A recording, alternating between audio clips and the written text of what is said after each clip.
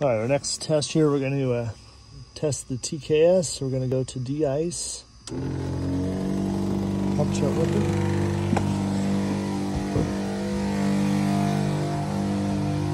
Try to do this at least every month or so.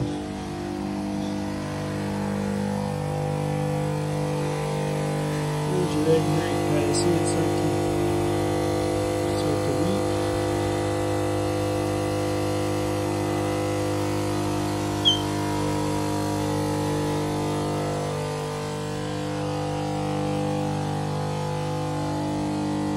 little trick somebody showed me is there's membranes in the back here can get a little dry and so the fluid doesn't come. So if we just take and kind of wash the fluid over it. Now you can see that it's working evenly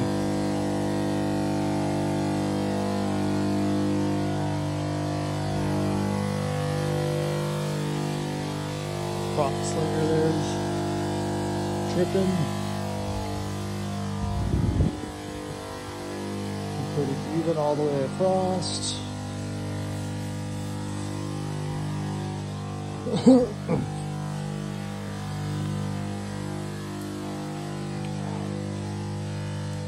this makes such a mess in the hangar. These things will be dripping for takes a month.